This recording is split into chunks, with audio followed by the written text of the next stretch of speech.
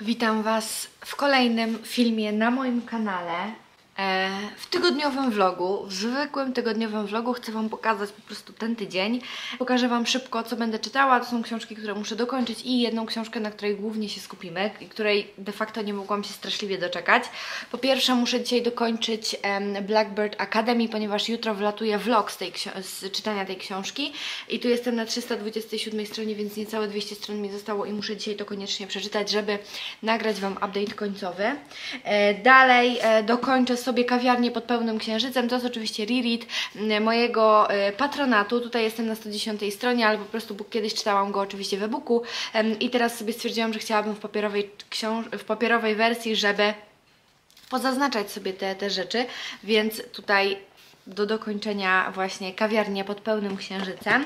E, I słuchajcie, dalej e, będę na evencie w tym tygodniu, jeżeli chodzi o mój drugi patronat, czyli odcierń e, i również będę czytała go, w sensie już go czytałam, ale będę chciała go przeczytać w wersji papierowej, również sobie tutaj wszystko pozaznaczać i tak dalej, więc e, to mam ochotę na jakąś e, fajną młodzieżówkę e, i bardzo dobre oceny kiedyś brała ta młodzieżówka, czyli Zakochaliśmy się w nadziei i będę chciała właśnie ją przeczytać. No i książka, na której głównie się chciałabym skupić, to jest oczywiście e, książka Remigiusza Mroza, najnowsza, czyli Paterborn, którego premiera, chyba jak to oglądacie, jest właśnie dzisiaj, czyli 27, em, więc już się nie mogę doczekać, bo Langarz zrobił na mnie ogromne wrażenie. E, I teraz tak patrzę, że w sumie mam do dokończenia jeszcze jedną powieść graficzną, którą w sumie też mogłabym w tym tygodniu dokończyć, a jest to Fukushima, którą zaczęłam czytać, słuchajcie, w e, w maratonie czytelniczym i nadal jej nie skończyłam. Nie wiem dlaczego, tutaj jestem na stronie 38. E, no, także tak, także tak się prezentuje mój stosik na ten tydzień. Mam ochotę mm, po prostu sobie poczytać. E, w tym tygodniu też będzie się bardzo dużo działo, bo właśnie mam event, e, jutro jest live z podzielonymi. Dzisiaj przychodzi do mnie znajoma. Także będzie się naprawdę sporo działo. Także po prostu zapraszam Was na tydzień ze mną.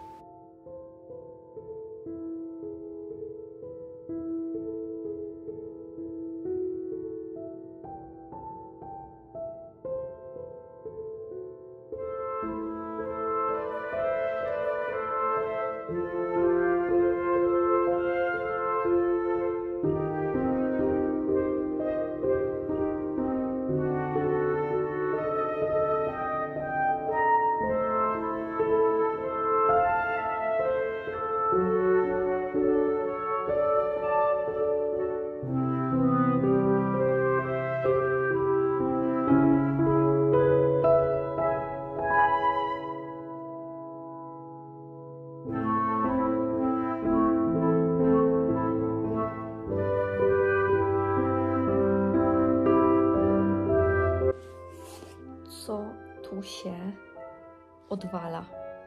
Mm, Zdecydowanie książka dla osób o mocnych nerwach. Nadal i ciągle. Może nie jest to mocniejsza książka od samego Langera, ale nadal jest rzeź. Dosłownie jest rzeź. Dobra, czytam dalej. Witam Was w środę, słuchajcie. Czy jestem w to samo ubrana co wczoraj? Oczywiście. Czy jestem nieumyta? Jak najbardziej. E, Jeżeli chodzi o oczy, to, e, to jest taki krem, bo cały czas niestety zmagam się z tym łojotokowym zapaleniem skóry i on musi e, być. Po prostu muszę często go używać, więc nie płakałam ani nic, po prostu to jest taki krem właśnie pod oczy. E, Mamy środę, ja już 4 godzinki sobie popracowałam w pracy e, i teraz jest 13.30 i teraz planuję ogarnąć trochę mieszkanie, w sensie takim wiecie, na spokojnie, e, bo kupiłam ogólnie i rozkmina, słuchajcie. Dałam na Instastory znać, że dzisiaj pierwszy dzień wiosny, bo dziś mi się wyświetliło, że dzisiaj jest pierwszy dzień wiosny. Ale później ludzie zaczęli mi pisać, że to nie dzisiaj. Więc dodałam drugie Instastory, że nie ogarnęłam i że to jednak nie dzisiaj. I później znowu zaczęli ludzie do mnie pisać, że w sumie to, to as astronomicznie to jest dzisiaj, że jest jakieś przesilenie. Więc uznałam, że pierwszy dzień wiosny będzie dziś jutro. I tak, kupiłam najbardziej wiosenne y, kwiaty, jakie można było y, mieć. Proszę bardzo. I teraz właśnie chcę sobie posprzątać trochę, bo yy, wiecie, nagrywałam i tak dalej, więc się troszeczkę zrobiło bałaganu, yy, jakieś torby, śmieci, zmywarkę, yy, więc będę sobie to ogarniała. Mm, I słuchajcie, y, będę oczywiście wtedy, mm, chociaż może nie będę słuchać audio, chyba mi się nie chce słuchać audio. Chyba sobie włączę po prostu coś na rzutniku, jakieś wiecie, clean with me albo coś takiego. Także ja biorę się teraz za sprzątanie, żeby ogarnąć i później dalej będę siedziała i będę e, pisała SEO. Wieczorem idziemy na siłownię, dlatego też się nie umyłam, bo miałam w planach dzisiaj, ale Mateusz mi dał znać, że idziemy na siłownię, a wiecie, na siłowni człowiek się poci. Więc musiałabym się być dwa razy, więc brak oszczędności wody. A druga sprawa jest taka, że mam ochotę sobie w wannie posiedzieć, więc pewnie jak wrócimy, to akurat będę sobie mogła bez wyrzutów sumienia mm, posiedzieć w wannie. Jutro idę na event do SQN-u, a w piątek są Mateusza urodziny. E, I idziemy na strzelnicę, to na pewno i jakiś spacer, jakieś, jakąś kolację go zabiorę, e, bo właśnie chłop ma urodziny. Także tak, a w sobotę, słuchajcie, będziemy przesadzać rośliny. To jest pewne na 100%, mm, bo one potrzebują bardzo już przesadzenia. Także tyle z ogłoszeń parafialnych. E, lecę sprzątać, włączam sobie e, na rzutniku e, jakieś vlogi i godzinka i myślę, że wszystko będzie ogarnięte. Oczywiście, jak to ja musiałam coś kliknąć i usunęłam update, który nagrywałam dla Was o Paterbornie, dlatego w sumie wykorzystam troszeczkę to, że będziecie sobie teraz oglądać jak sprzątam na wiosnę, czyli takie Clean With Me, a w tle opowiem Wam troszeczkę właśnie o najnowszej książce, o książce Remigiusza Mroza, czyli Paderborn. Jest to drugi tom Langera, natomiast nie musicie czytać Langera, żeby móc sięgnąć po Paderborna. E, jedynie ode mnie, co mogę Wam polecić, to jest to, żebyście jednak przeczytali Langera, ponieważ wtedy w lepszy sposób i w bardziej abstrakcyjny i straszny sposób zrozumiecie to, co dzieje się w Paderbornie, dlaczego Paderborn ma takie relacje z Langerem, a nie inne, co się wydarzyło z Niną Pokorą, która od, bardzo odsunęła się od swojej rodziny.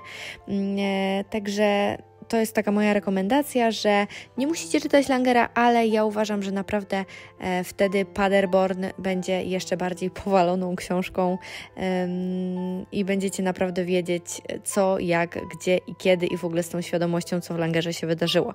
Ja oczywiście nie powiem Wam, co w Langerze się wydarzyło, bo nie chcę Wam spoilerować, jeżeli będziecie planować, natomiast Paderborn to y, mamy tutaj opowieść właśnie z perspektywy prokuraturę, prokuratu, prokuratora Paderborna, e, osoby, która ma bardzo ciężki żywot, e, jeżeli chodzi o swoje prywatne życie. E, no i w dziwnych okolicznościach ginie właśnie jego była żona, czyli Nina Pokora. On, jemu wydaje się, że wszystko jest ok, wszystko jest git, niczym nie ma się przejmować, ponieważ Nina często znikała w ten sposób, ponieważ Nina jest policjantką i ginęła w ten sposób, bo jak robiła różne sprawy, to były sytuacje, gdzie na przykład nie odzywało się kilka dobrych dni. Natomiast w tym wypadku jest troszeczkę inaczej, ponieważ zaczynają dziać się dziwne rzeczy, Nina nie odbiera, nie odzywa się e, i mijają dosłownie, e, mijają kilkanaście dni i wtedy też syn poprosił go o to,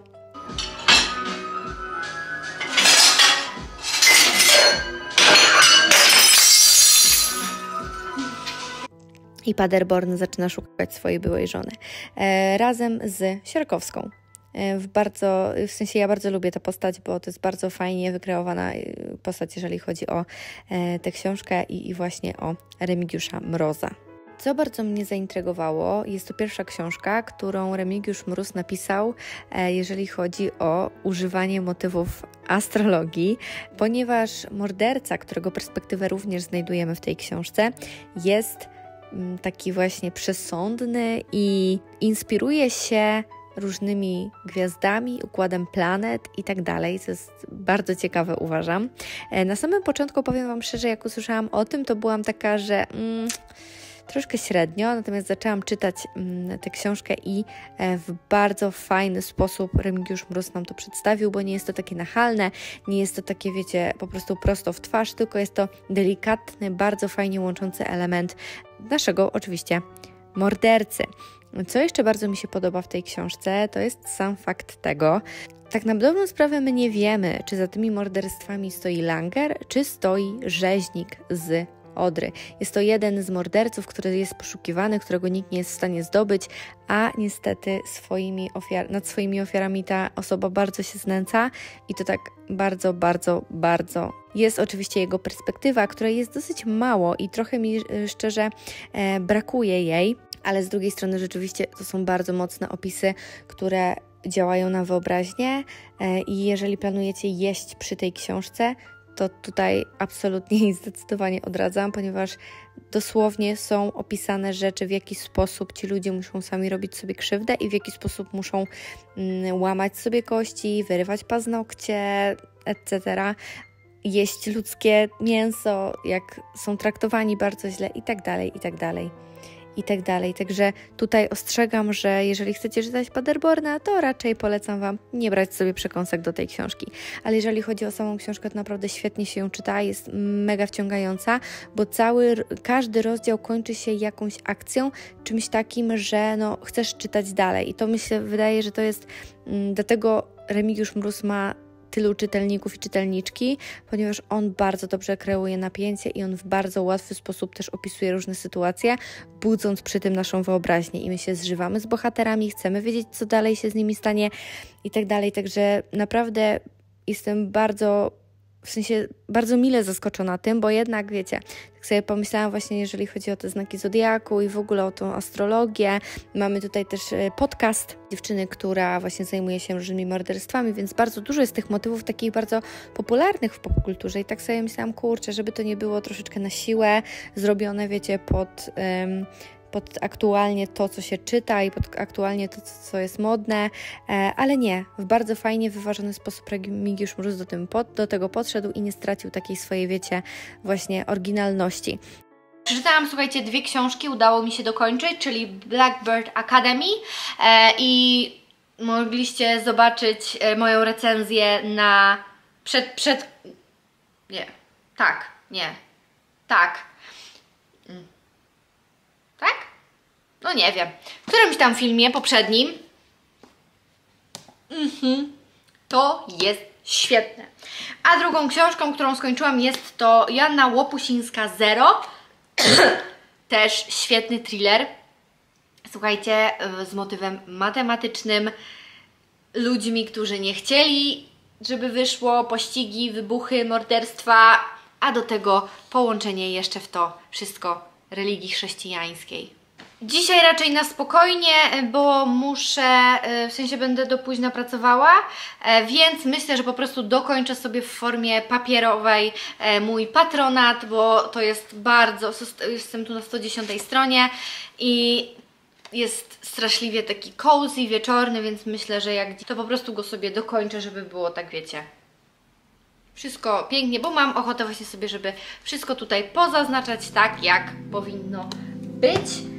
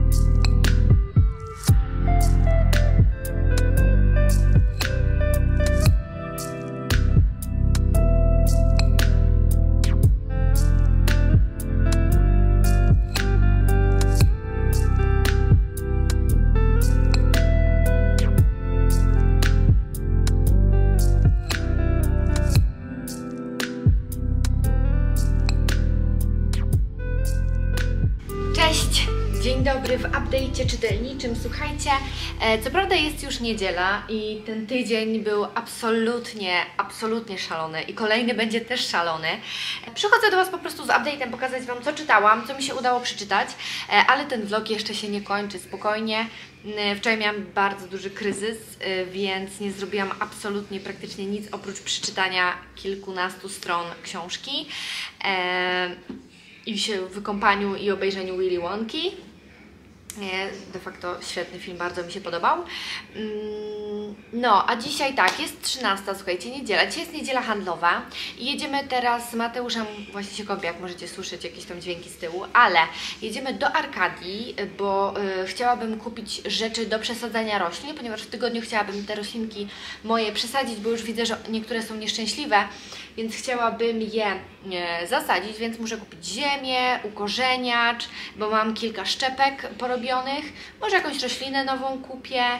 Mm, Musimy iść zobaczyć, ponieważ będziemy robić balkon, to znaczy rzeczy na balkonie. Chciałabym y, w tym roku sobie ładnie po prostu, nam oczywiście, zrobić balkon ze stolikiem, z jakimś krzesłem, z odseparowaniem od sąsiadów, y, żeby po prostu jak będzie ładna pogoda, to żeby po prostu tam siedzieć y, sobie i pracować. I żeby też fibulka miała fajnie, bo też chcemy jej zrobić jakiś taki, wiecie, kącik ko kotkowy, e, jakiś, może jakiś nowy drapak, coś takiego. No musimy popatrzeć na pewno na to wszystko. Eee, to jest to, co dzisiaj. Muszę popracować dzisiaj, właśnie tutaj na YouTubie, o, podpisywać na komentarze, bo trochę to zaniedbałam ostatnio. Muszę zrobić zdjęcie, wstawić je, muszę zrobić rolkę, więc tutaj tak typowo, typowo pod kątem YouTubeowo-pracowym muszę, muszę mm, popracować. Mm, Także tak dzisiejszy dzień się prezentuje, a wracając do książek, to tak, oczywiście przeczytałam Kawiarnię pod pełnym księżycem, który jest, jest tutaj moja, mm, mój blerb, możecie go znaleźć. E, Świetna książka, y, genialny comfort treat, także jeżeli szukacie czegoś na przykład na zastój czytelniczy, jeżeli macie, to ta książka na pewno Was z tego zastoju czytelniczego wyrwie, ale już naprawdę bardzo dużo o tej książce mówiłam, więc już nie będę, wiecie, za dużo mówić. E, dalej oczywiście drugi mój patronat, czyli Cierń, cieniutka książka, jest to baśń, słuchajcie, mm, baśń o żabie. O żabce, która musiała pilnować księżniczki, mm, więc to nie jest e, historia właśnie o księżniczce, tylko historia o żabce o ropuszce. Świetna, y, przekochana, a jednocześnie ogromnie angażująca i nie taka słodka, jakby się wydawało. Też cudowna, y, świetna. Bardzo Wam polecam. Byłam właśnie na evencie związanym z tą książką na SQN, mogliście widzieć w przebitkach poprzednich. Cudowna, czytajcie, naprawdę jest świetna. Y, Jestem w trakcie oczywiście Tesgericen Mumi. Nie wiem, na której w sumie jestem stronie, może sprawdzę od razu. 13, czyli jestem na 135 stronie. E, No i tego, tak jak mówię, słucham sobie w audiobooku. E, ogólnie mega spoko. Bardzo mi się podoba. No i oczywiście ostatnią książką, którą czytam jest Paterborn Remigiusza Mroza. No i niby jest to kontynuacja Langera, ale nie do końca. Nie musicie jej czytać, w sensie nie musicie czytać Langera, żeby przeczytać Paterborna. Możecie mm, czytać tę książkę bez znajomości Langera, ale polecam mimo wszystko tego Langera przeczytać, ponieważ tutaj mamy główny motyw Niny mm, Pokory, y, czyli... y, no, dziewczyny, która odgrywała bardzo dużą rolę w pierwszym właśnie w Langerze mm, i w ogóle całą, żeby bardziej mieć schizową sytuację z Paterborna i z tym, jak Paterborn e, odnosi się do Langera, e, to musicie, w sensie zrozumiecie wtedy, jak, e, jak przeczytacie Langera i to, co Nina musiała zrobić właśnie, no, żeby, no, żeby dopaść Langera. E, jak widzicie, czytam dużo i niedużo, e, ale no cóż, tak, więc e, teraz główną książką jest Paterborn, a my teraz już uciekamy i jedziemy do galerii. No i trochę rzeczy, żeby pokupić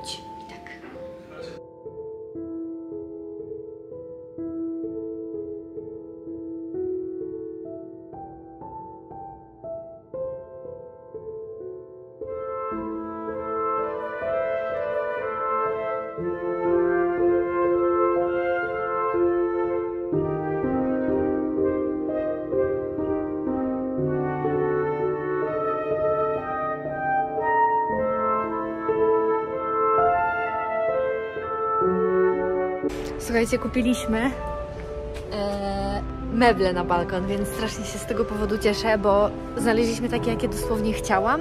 E, tylko no, tak jak widzicie, Fiacik jest totalnie pełny, więc Mateusz po prostu zawiezie y, te rzeczy, a ja no idę do Empiku. I jakoś te, no, no jedną w drugą, no te 40-50 minut będę musiała spędzić właśnie w, w Empiku. No trudno się mówi.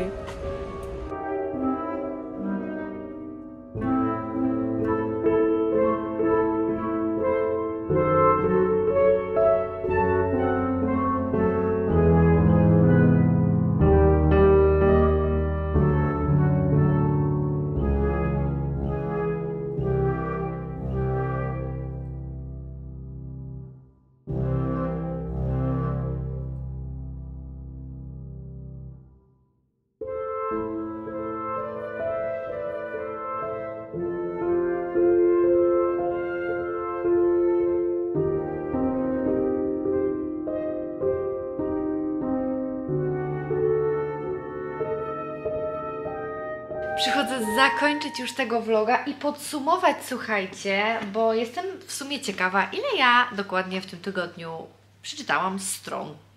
Także y, przychodzę do Was troszeczkę to podsumować. Przede wszystkim e, tydzień zaczęłam od dokończenia Blackbird Academy e, i tutaj byłam chyba na stronie którejś, już nie pamiętam, tutaj Wam na pewno napiszę. Także dokończyłam, świetna fantastyka, bardzo Wam polecam. Dalej e, skończyłam książkę Joanny Łopusińskiej Zero i tutaj też byłam jakoś, nie wiem, na której stronie setnej chyba, czy coś takiego. E, także dokończyłam thriller, który jest naprawdę świetny, połączenie matematyki, e, religii i e, pewnego odkrycia, którego jedna z doktorantek odkryła, które może zmienić świat. E, Następnie dokończyłam kawiarnię pod pełnym księżycem, czyli mój cudowny patronat. E, Bardzo Wam polecam, jeżeli macie zastój czytelniczy czy coś, to to jest książka idealna do tego. E, Dalej przeczytałam oczywiście Cierń, e, Kingfisher i cały tutaj też przeczytałam to 157 stron.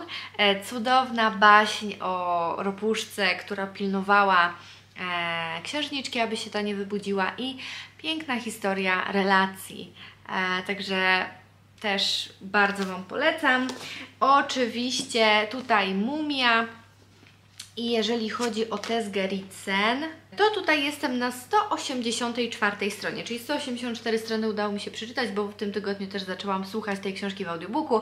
Jest to siódmy chyba tom serii o Rizoli i Iceless. E, bardzo dobra, bardzo, w sensie uwielbiam tę serię.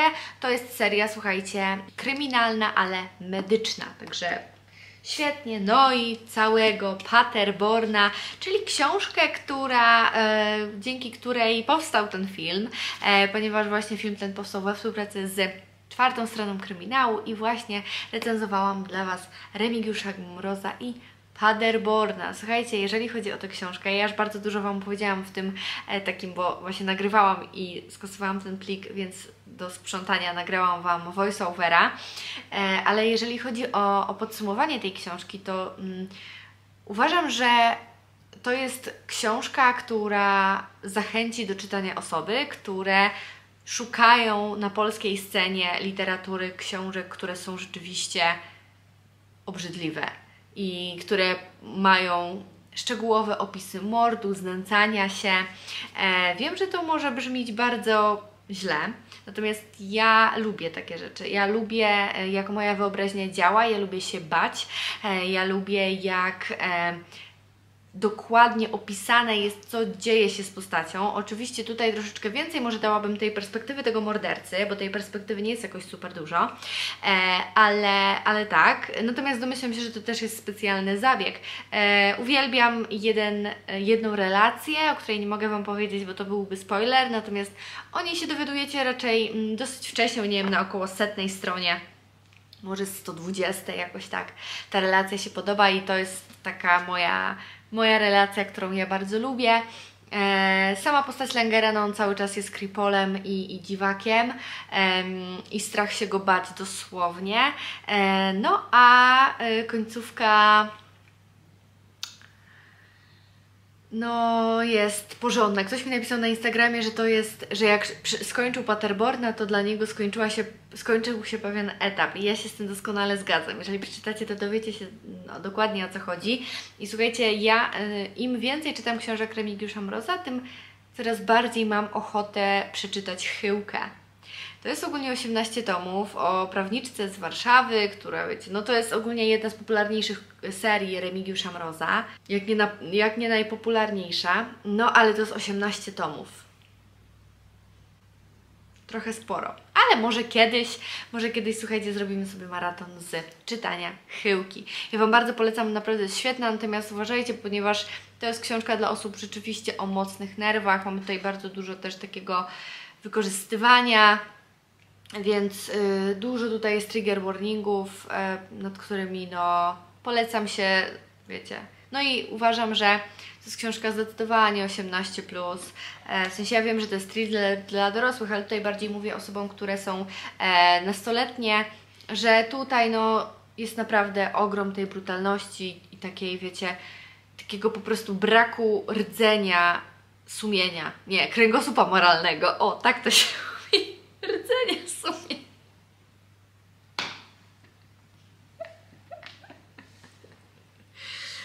Świetne, świetne. Muszę to zapamiętać. Nie ma rdzenia sumienia, tak. Także ja naprawdę Wam polecam, bo bardzo dobra książka mnie, mnie kupiła, zdecydowanie.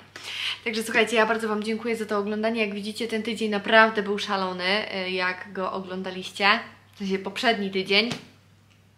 E, A ja już bardzo serdecznie dziękuję Wam za oglądanie. Widzimy się już jutro, ponieważ e, od dzisiaj do poniedziałku włącznie codziennie e, filmy będą się tutaj pojawiały. Także bardzo serdecznie Was zapraszam. Mm, No i tak. I tyle. Idę montować, żeby Wam wstawić. Pa, pa.